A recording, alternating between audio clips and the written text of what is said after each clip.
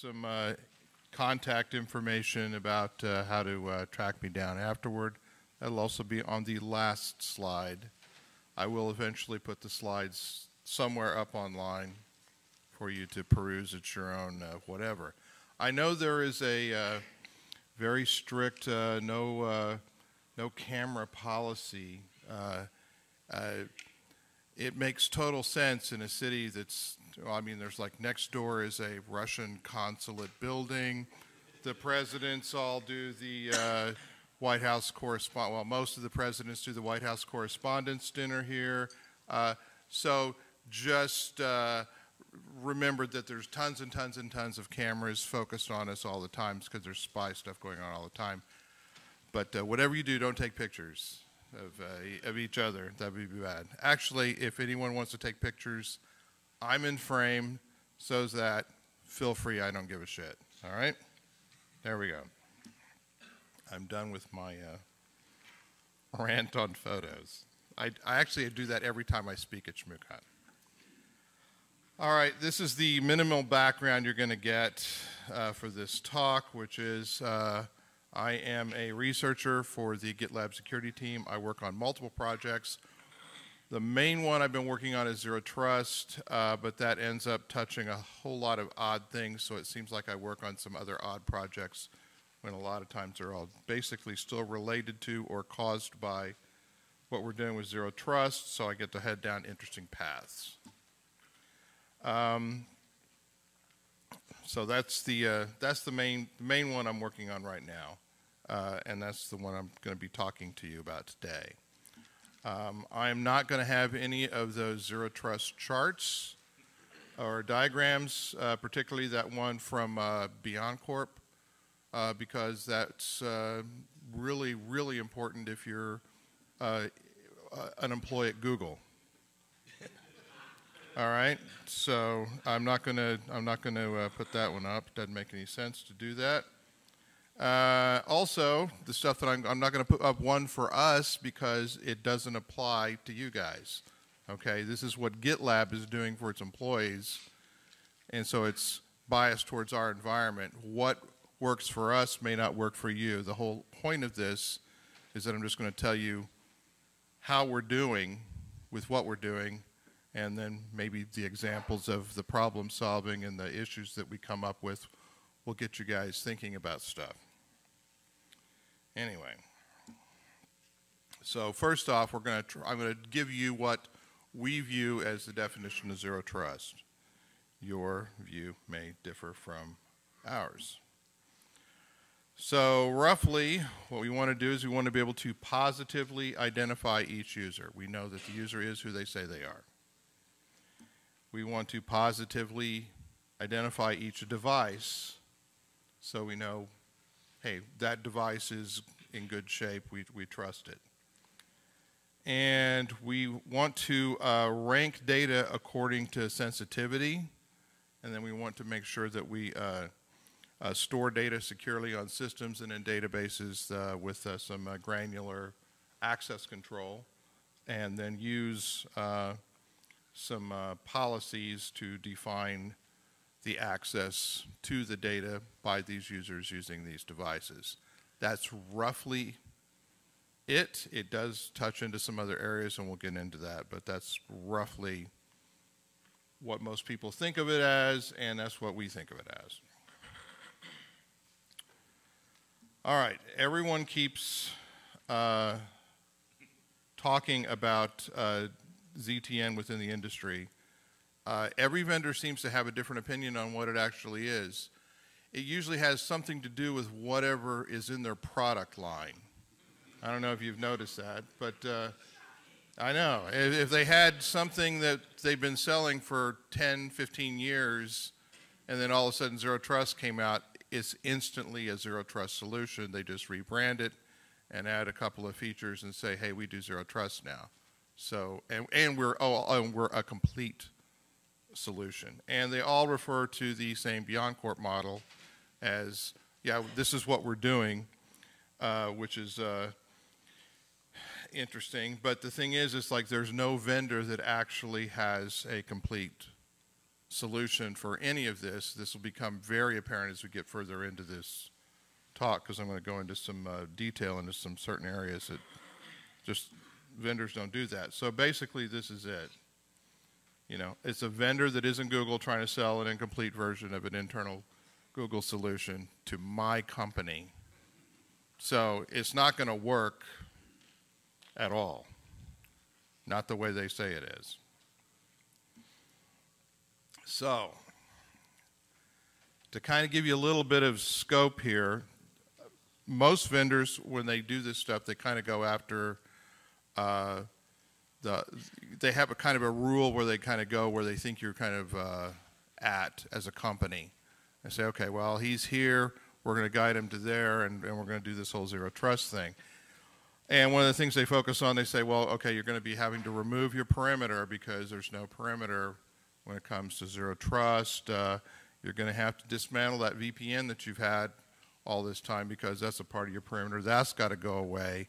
Uh, you're going to have to deal with those remote workers, even though they were, you know, before they were, you know, had to go through that VPN. You're going to have to figure out a way to handle them.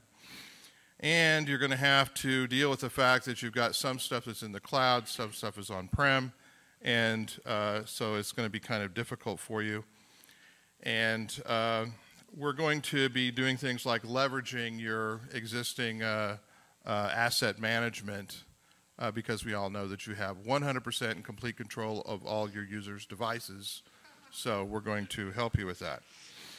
Uh, and this and everything is going to work fine. Don't worry. Now, the problem is that is not what reality is. Okay. Uh, especially for us. The reality here is that we do not have, uh, we have no perimeter at GitLab. We never did. We, uh, we never will, okay? Uh, as a result, we also don't have a VPN. We've never had one and we never, we never will. Uh, we have all remote workers okay? If you look up the address and go to headquarters, I think it's like a UPS store or something. I'm not, I'm not kidding. I'm not, that's, that's actually, I'm not kidding. I think that's where you end up. Uh, people are disappointed. Huh?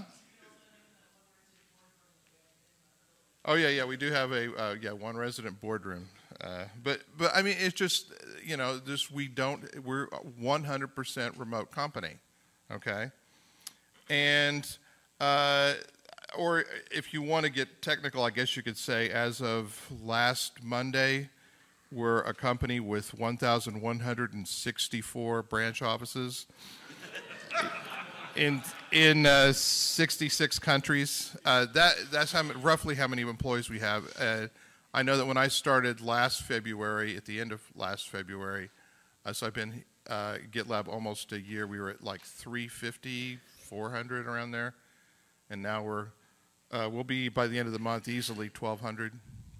So we're just like growing like crazy.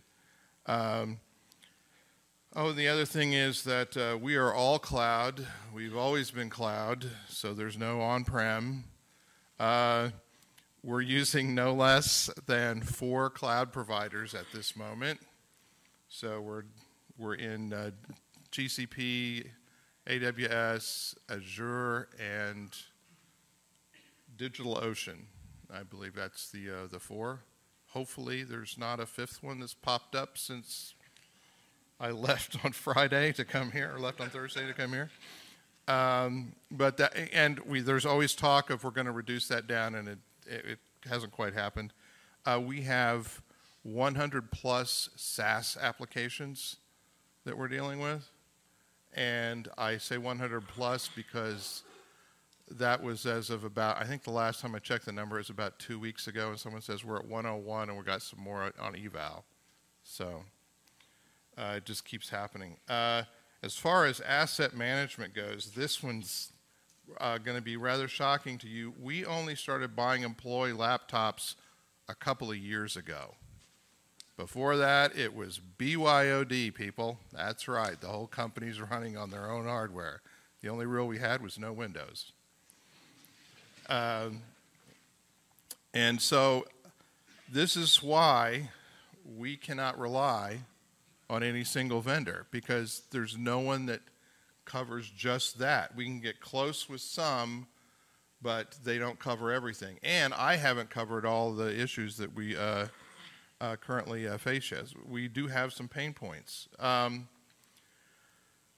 uh, data classification. The, what we want to do is we want to, uh, okay, now this is, how should I best describe this? It's fluid and it's in, a way that when you log in in the morning, data may be classified one way, and by mid-afternoon, it could be classified another way, okay? Because that's the nature of how things end up working. To give you, uh, just, I'll give you a real simple example of a real world thing that happened. We had uh, a security problem that was reported to us by a customer, and they said, it looks like uh, some bad guy can come in and see all, well, basically someone unprivileged can see privileged information. That's bad, right? And so we said, and our classification scale was red, orange, yellow, and green, with green being public and red being uh, bad, okay? Affecting multiple companies or affecting all employees or however, the, however we had, whatever we're applying the data to. Uh, this would be considered orange. It affected one customer and just like, okay, this is bad. Uh, we started looking at it and it was worse than what the customer had uh, explained it to us. Once we did some investigation, it affected all customers, or at least a good chunk of them. And so it instantly became red data. At that point, we worked through, got a fix, got the fixed uh, pushed out to customers, and then, of course, since we're open core, uh, pushed out all the uh, code changes to everyone so everyone could pretty much see what we did to fix it. Uh, and we actually published out stuff and said, here's what happened, here's what we've done, here's what we've done to try to mitigate this from happening in other areas, et cetera the data becomes public or green data. However, the customer said, we don't want our name associated with it, so the fact that that particular customer reported it is yellow data, which is internal only. Okay? Now, someone, that's a very simplified example of data. Okay? Moving from system to system and at various points has changed classification. This can happen in other realms and areas as well, obviously. But what happens is, is if I have someone that authenticates in in the morning while it's still red, and by mid-afternoon it's green and yellow, do I need to have that person log out and back in to reestablish creds and you know, and, and because they were using tokens to access this or that or whatever, you know, that's not something that uh, uh, a, a lot of, like say, an authentication vendor would be able to support. They don't know anything about that kind of stuff. And so those are, that's a very simplified explanation of the type of problem I'm talking about when we're talking about uh, data classification, that is fluid, and so that becomes a pain point. It also becomes a pain point uh, when, because we had to have, like I said, we got these data classifications. We also had to come up with data zones because we might, let's say we had some type of database where it was either you had access to it or you didn't have access to it because it was some, you know, piece of uh, shit database that didn't work very well. And that's all you got. You just got, you can get to it or you can't. In that case, you had to say, well, if red data ends up in there, that's a red zone. Even though we may put orange or yellow or even green data in there, it doesn't matter you have to have credentials to access red data before you can get to anything in this because it contains red data. All right? We have that there. It's not used very often. I'd like to eliminate it completely, that we don't have data zones, but it exists as a concept to at least capture uh, if that happens. Uh, this is another one. Uh, provisioning and deprovisioning of uh, new employees or ex-employees or whatever the case may be is hard to do, particularly when you have 100 plus SaaS systems. And based upon what their job description is, they may need access to I don't know, half of them, a third of them, you know, half of the systems that exist in the company internally. Uh, it's it's hard to it's hard to manage that uh, and to be able to control that and do it effectively. So we had that as a, a pain point. And since you're creating users and building this whole zero trust thing, this becomes a provisioning and deprovisioning becomes a big important part of that. I'll talk about how we fix that later on. Um, and like I mentioned, we barely have uh, uh, end user asset management. We're, we're okay on our, you know, our servers, our containers, our instances, all that kind of stuff. We got kind of a handle on that, but uh, uh, you know, end user devices. That's uh, that that's kind of an ugly, uh, kind of an ugly thing. A work in progress.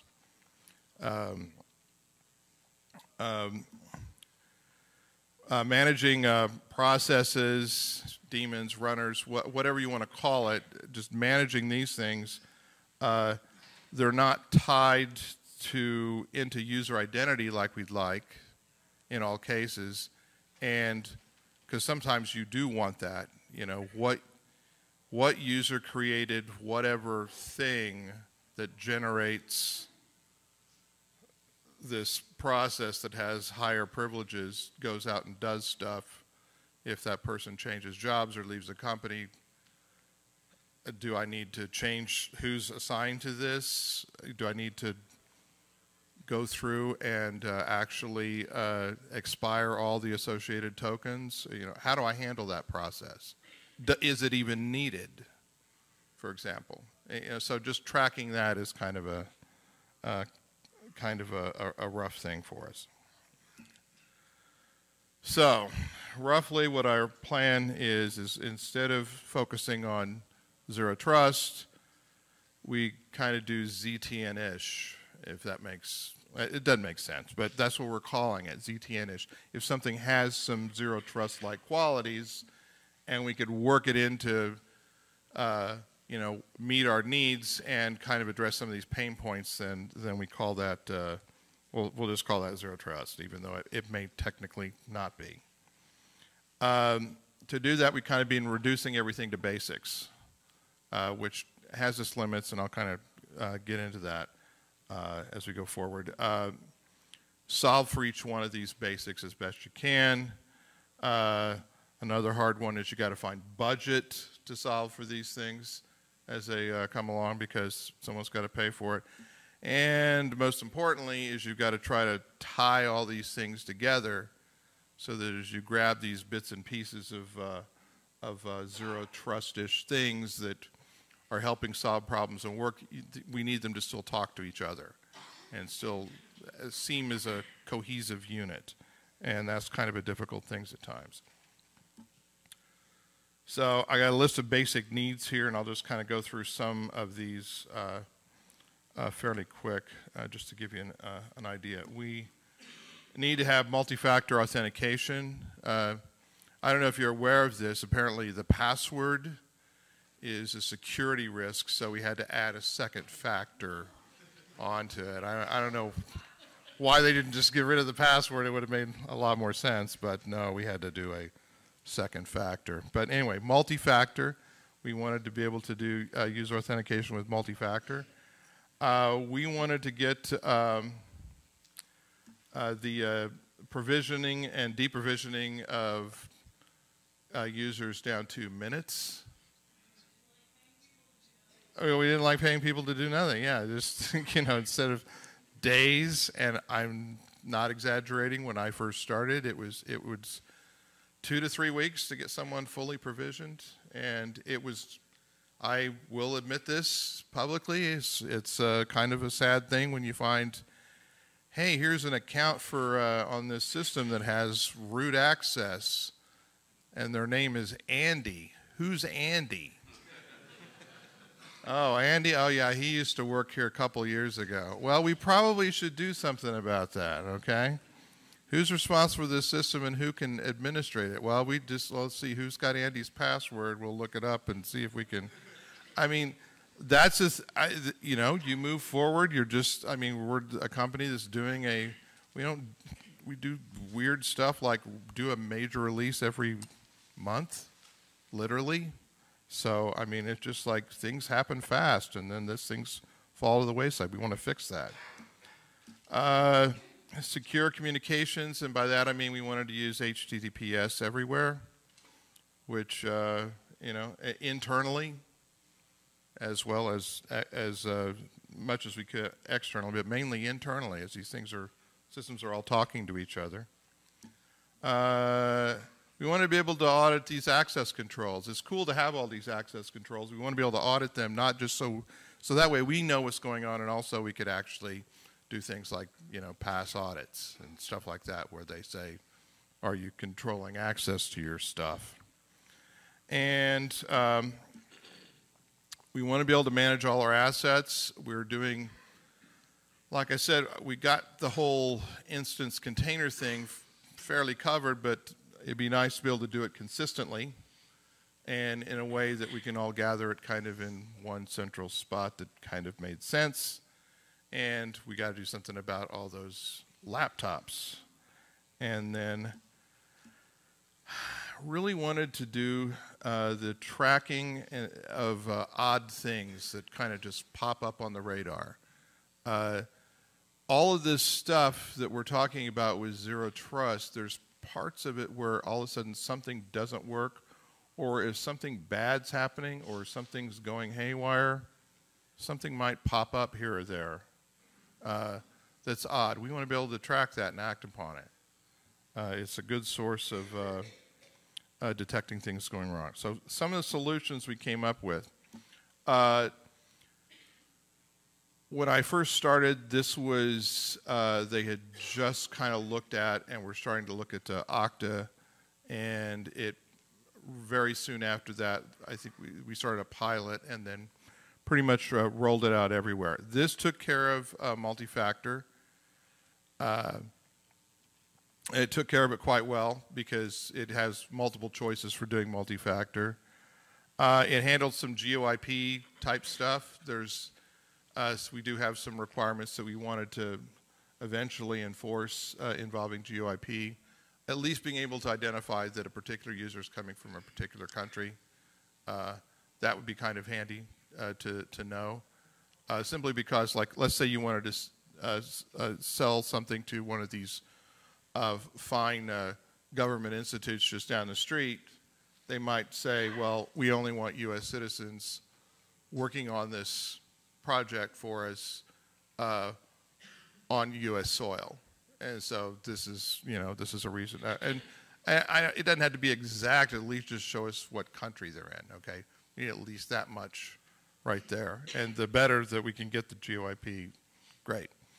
Um, it does allow us to do some type of restrictions on clients, like they have to meet at least some semblance of a standard, like, hey, we're not going to let you in, you're on Windows, you know, that, that kind of thing. Uh, I don't mean to disparage Windows for the Windows users here, but it kind of is a mess. There's probably other presentations at conferences about this whole thing. Uh, and then, of course, the provisioning and deprovisioning thing, that was wonderful uh, because we use uh, we use BambooHR, and so People Ops, when you get hired on, they create a new user in BambooHR. It's pushed up to Okta. Okta has API access to a whole ton of SaaS applications.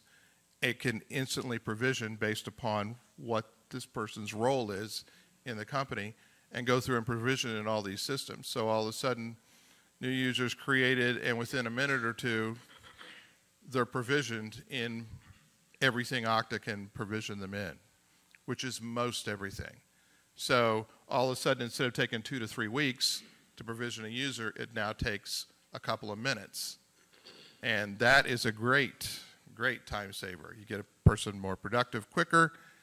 You're not trying to track down you know, Alice, because she has access to the whatever systems to create accounts, you know, and she's on vacation, or she's busy doing her job that you pay her, that you're supposed to be paying her to do. that kind of thing. So it, it really helps. Uh, we're also using uh, Okta for ASA, is the name of the product. It, SSH, it does SSH and, uh, and I think it does uh, RDP as well, but we use it for the SSH. And it's not fully deployed yet. We got it for the, um, uh, the infrastructure team needed it. I think they were the ones that were saying, look, we're got a new project coming up. We're going to be hiring 40 people. I want to pull someone off to create 40, 40 accounts on a zillion systems. What can we do? They saw what Okta was bringing to the table, so we were able to put this in. So it's partially deployed. Pretty soon, all our coders are going to have to go through this process as well, and that uh, that have access to systems that require SSH. So that's cool. Uh, communications. This one's kind of weird. Uh, this is kind of a, a, kind of a happy accident. We had a security problem on an internal system, and we fixed it. Uh, and I figured out, well, let, us just use this camo proxy. It's going to fix it. As a side effect, it enforced HTTPS. So someone got the bright idea, says, "Hey, why don't we just deploy this everywhere?" I was like, "All right." Boom, problem solved. We got HTTPS everywhere because we are using Camo Proxy everywhere. So that's good. And to keep us from being uh, attacked by the evils of the world out there, partially, uh, uh, preventing some of that stuff. But anyway, for DDoS and then, uh, you know, some of the, the, the WAF stuff that uh, CloudFront offers, we have that in place. Um, asset management, uh, this is kind of, okay. This is kind of rough. All right, uh, Fleetsmith. We're using Fleetsmith. Uh, we went through a whole big trial of getting something in. I I wanted something that would work on Mac and Linux because we do allow Linux in there. Fleetsmith does not work on on Linux. We have about uh, I think at the last numbers I looked at, I think we're about eight percent of our user population is uh, is our Linux users. Um, so we have Fleetsmith. It's on this laptop right here. I don't know if it's going to stay. They're looking at some other stuff. Um, uh, DriveStrike is being evaluated because they want to be able to do some type of uh, endpoint remote wipe.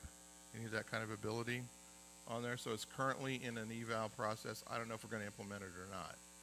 Uh, uh, my opinion on it uh, is I, I think Fleetsmith, if you paid a little bit more for it, you could get it to wipe. I'm not sure. I'm not responsible for it, but uh, since they're thinking about possibly replacing that, then this they're looking at DriveStrike.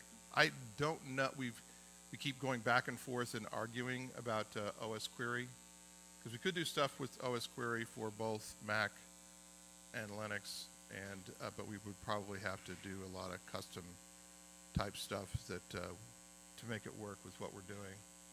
Uh, so we're still kind of up in the air on that. As far as security monitoring of some of the uh, assets we have internally, uh, uh, Tenable.io, and Uptycs. I don't know what people's opinion are of Uptycs. I've got kind of a love hate. Yeah, there we go. Yeah, love hate. Just like eh, it could be good. It does some stuff good, but then there's other stuff like, hey, if I get an alert, I'd like to have like everything in the alert, you know, that kind of thing.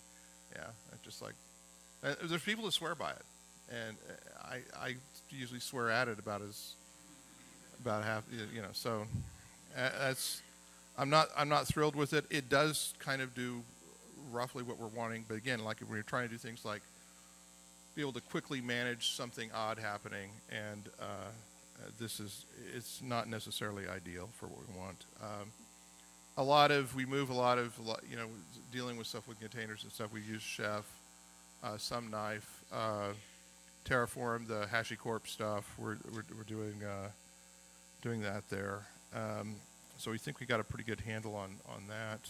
Um, uh, eh, oh, and by the way, if you say, "Oh, he keeps saying we got a pretty good handle on it," uh, then what I ask you to do is uh, go set up an account on HackerOne and and uh, come after us, baby. That's what I say. we'll pay you. We've been paying a lot of money out for bug fixes, so So that's cool. We're, we're cool with that. Um, logging, uh, uh, elas- com- combination of elastic, uh, elk. Uh, I think Kibana uh, going away. I, I, is it? You don't think so? Oh, all right. There may be some departments still using it. I, we, I, I know that uh, for the security department, we were thinking uh, about uh, getting rid of it, but the secure department that you're in, completely different department, believe it or not. Not confusing at all. Uh, they're apparently using it. Uh, there was talk about uh, maybe re- redoing some stuff, but uh, I don't know. See, it keeps going back and forth. See, I'm not, I'm not, I haven't read the latest memo. Okay, all right, cool. All right, future, where we're heading with this stuff that we're as we're looking forward. Uh, we need better uh, asset management, and we're we're having problems with this. Uh, but uh, we're, we need better asset management, end user devices as well as containers and stuff. Um, we need to solve the BYOD problem, and there. This is something that's kind of weird. I'm thinking that it's possible that we could do BYOD. All right. And call me crazy. Yeah, there's already someone looking at me, giving me a look. But uh, I, I think it's theoretically possible if I could somehow convince someone to run something on their system that at least tells me that they're patched up and they're configured safe, safely, I may allow them access to some of the data internally. Maybe not red data, but some of it. I think I can live with uh, parts of that. And that would handle, uh, that would take care of the, I mean, good Lord, we're doing it with mobile phones, right? You know, I mean, I mean, how many people here have two phones? One for themselves and one for work? A few people. Most people uh, don't do that. You know, they have one phone and that's all they want, and they, you know, they get all religious about it. Oh, you're not putting something on my phone. I, I think if we can, you know, be open about it uh, with people, that we can convince them to uh, convince them to do it. Um, I already mentioned this before. I'm calling this non-people because we've been talking mainly about people, but things that aren't people, like processes and stuff like that, or you know, just anything to do with non-people. Uh, you know, where we're we're tracking a token, we're tracking, you know, you know, a process, something like that. Uh, we need to get a handle on that from an identity uh, perspective. I want to treat uh, these processes like they're people when it comes to doing that whole zero trust thing. And no vendor does that at all. So that's going to be an ugly roll your own at best. So I'm not sure what we're going to do there. Uh, but that's something I'd like to do. And of course, uh, uh, we're looking right now at another project I'm that's just kind of getting off the ground. I'm looking at is uh, uh, doing uh, machine language assisted anomaly detection. you know, this is pseudo based upon work I did at MITRE, where we would look at trying to automate looking at bad things that would happen in weird places, and you got to pull stuff from uh, different logging systems that don't seem to, you're just like, why would you pull something from this log and that log? Well, you know, it, it's kind of like um, uh, when uh, the advert, when you're like, you're on Facebook and someone says, okay, well, you know, he likes cats and his favorite color is blue, so there's a 40% chance he drives a Prius, so let's throw Prius ads at him, that kind of thing. Uh, you know, is kind of like that for uh, anomalies that occur on your network. If you find some, you know, four or five weird things that always seem to happen, and they're related, and you look into it, and it's always related to a, a, some type of security incident, then maybe I want to track those things. It, pardon? I'll, yeah, I am treating the Prius as an anomaly. I actually, I actually, uh, yeah. The fact that I drive one has nothing to do with that either. Um, and of course, I'd like to kill the password. I just thought I'd throw that in there because I haven't brought it up enough. You know, it just it could go away. Why not have your two-factor be something you have and something you are? See, someone says no. I got to come up with a solution that gets me away from the password. But anyway, I'm going to come up with something. I don't know. Well, we're going to come up with something. That's our job, right? We're security people. Got to do something about that password. Uh, advice. You're going to have to get upper management buy-in on this. It was uh, pretty easy for us. Uh, one of our CEO's biggest fears was that a uh, an event would occur that would be the equivalent of a remote wipe. Uh, that was one of his fears. He says that's a big fear of mine. Doesn't matter if we can recover from backups. You just think about the hurt to your reputation. You think to the hurt to the, you know, just the recovery time that you know because you've got you know thousands of customers and things like that. You know, that's the thing that people worry about. So they say, okay, well, what are we going to do about this? This is why if you go out on the GitLab website and search for, oh, by the way, we have pretty much our entire company is wide open for you to look at. Uh, you can go out there and search and see what our data classification uh, stuff is, and it has in there under red. It says specifically, it says you know company ending event. That's you know that's a you know a tied to you know the disclosure of red data. Uh, so that that's that's a that's a big big deal, and so fortunately for us, upper management was in uh, in uh, support of it. It does help to break things down into uh, uh simple components. Uh, just to try to like for us, like most of my focus has been on user identity and things tied to users. So I've ended up doing things like um, I'll get into that in a minute. I have a story to tell that's kind of kind of interesting.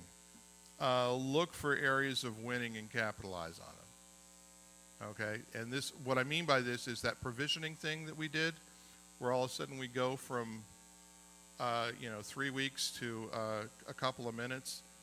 That bought us a lot of cred uh, with the company, with other departments, when we said, okay, look, if you're looking at a SaaS application that you're wanting to use, you have to make sure that it can talk to Okta because otherwise you're going to have to have you know Bob go in there and he's going to be creating user accounts for people in the SaaS application because Bob's the owner of the application uh, from uh, our perspective.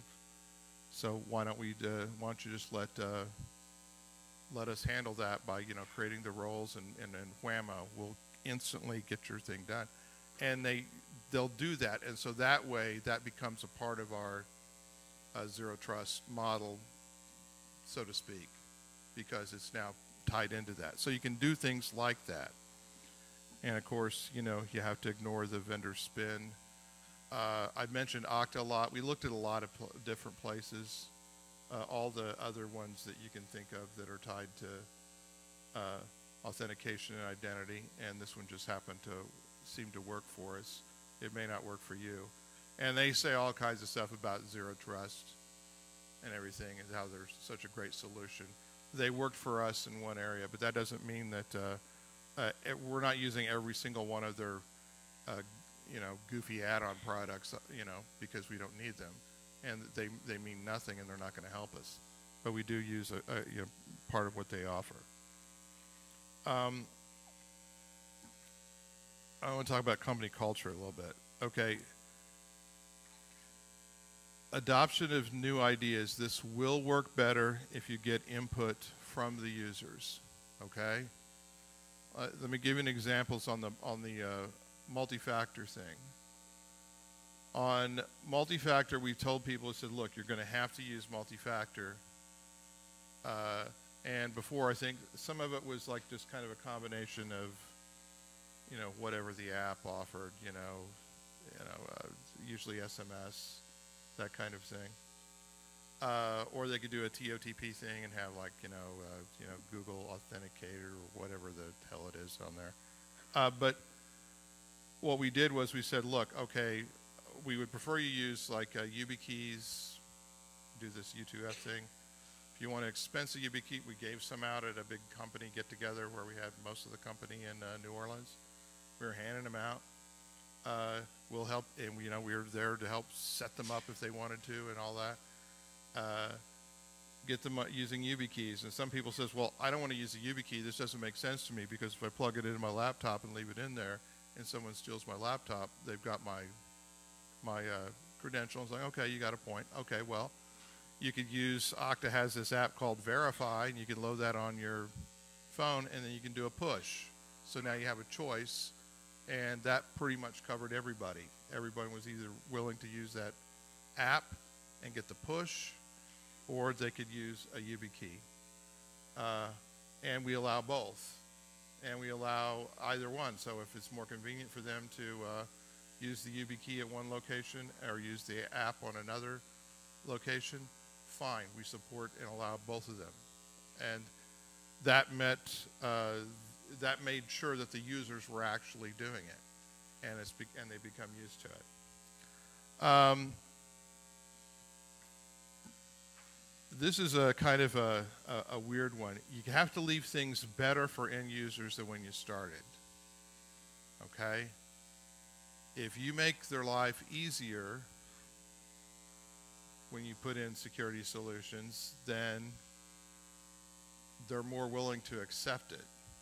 The best security solutions are the ones they either don't notice or they uh, it's becomes such a part of it that they don't even remember. It becomes uh, uh, it becomes the same thing of like uh, when you uh, uh, get out of your car, you lock the door. It's, or you leave the house, you lock the door. It's just like this automatic thing that you do. You don't even think about it. It's like muscle memory, you know. And that's what you want to instill. You want to make the security part so easy. I don't expect the end users to be security experts. Yes, they're a part of the equation because we need everyone needs to work together to keep the company safe and all that. However, I'm not expecting someone that is an expert in selling product in sales to be also an expert in security. That's my job. My job is to make sure they're secure and get out of their way so they can sell the product and pay my salary and make those stocks worth something when we uh, IPO in November. Okay, that's what I want. Okay, uh, but I mean that's that's the thing. It's just like we don't we shouldn't expect them to be uh, security experts at all. I mean, okay, I'm going to go back to that password thing. But I mean, look what we did to them with the password thing. Oh, you got to change it every 90 days. Okay, you got to you know you got to do the uh, uh, you got to start doing upper and lower case. Oh, you got to make it longer than eight characters. Oh, you got to do this. And it's got to be really complex. And they're coming back to you saying, how come when I play Sudoku online, the password I can put in there is more complex than what I have to put in for my bank? You know? And you say, well, you know, sorry. And, and you just kind of continue on and say, this thing's a disaster, or really sorry that the password thing didn't work out. And then you, after that, of course, they're going to have some ill feelings toward the security people because we keep giving them weird advice, you know, especially when we say, oh, yeah, we know the password. So, okay, just now you got to use this password manager thing and you got to use this little thing you plug into the side of your computer and, you know, press with your finger and all that. It, it, it just, they, they, they don't need that. We don't need that. Okay, just make things easier for them. Um, and basically, as far as we go, if a ex- solution is extremely hard or extremely complex, then we probably should be doing something else. Okay? Because if we're putting in something that's extremely uh, complex for us, uh, oh my God, what if we get it wrong? What if something happens and uh, ha- what if we need to explain something to someone? Or say, no, you have to go through this extra step when you log in now that's weird. Okay? Uh, it, it, it's not it's not good. And so my summary on that basically is Zero Trust solution should make things easier, and if it doesn't do that, find a better solution. So any solution that you're, where you're implementing, where you're involving, a, you know, you're getting a, stuff from a vendor, you're getting stuff from, uh, uh, that you're implementing yourselves, if it's not making things easier, then, then don't do it, okay? And that pretty much ends the talk proper. And thank you very much. We appreciate it.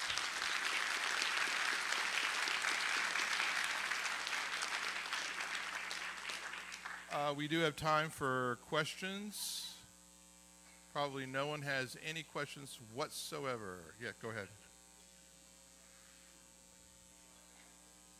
Uh, remote. He asked. The question was uh, mentioned remote wipe.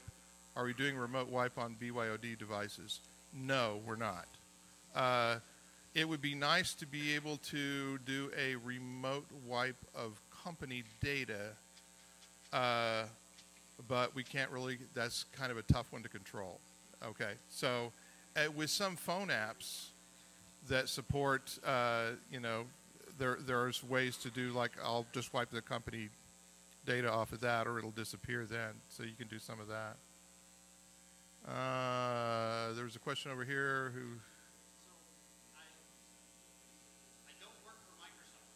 Okay, you don't work for Microsoft. All right, you're going to defend Microsoft. Okay, good.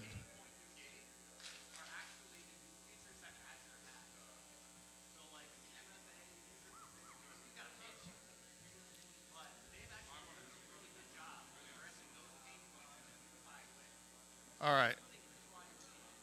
All right, I do.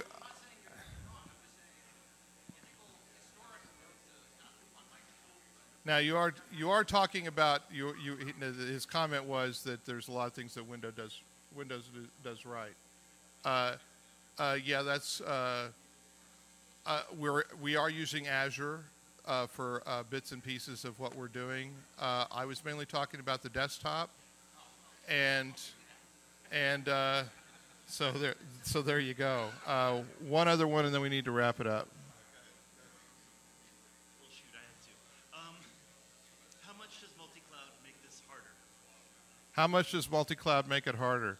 Uh, it uh, has forced us to get creative. Okay, uh, so if you standardize on a tool that you know works on multiple whatevers, let's say something that's uh, dealing with a uh, an instance like like Kubernetes. So dealing with Kubernetes, if I can know that I can move stuff around to whatever platform, uh, and have it stay reasonably the same, then I'm I'm I'm usually we're usually okay. We've done some stuff on it. There's actually been some blog posts on GitLab by some of the people who've had to implement things where they say, "Hey, we had to come up with this thing where we had to talk to three different cloud systems and push something out, and here's what we came up with." I mean, so we're we're working through it. It's it doesn't make it uh, easier, but it's one of those things where we have to keep that in mind uh, when doing it. Like I said, most of what I've been, like I said, most of what I've been focusing on has been user centric, uh, and as we start getting the user part uh, handle on that, we're starting to move now towards uh, uh, getting the uh, the non-person uh, things taken care of as well. So that's kind of since we kind of roughly had a handle, it wasn't as blaringly bad as the user part was. Anyway, that's it. I'll be around if you have more questions. Thank you.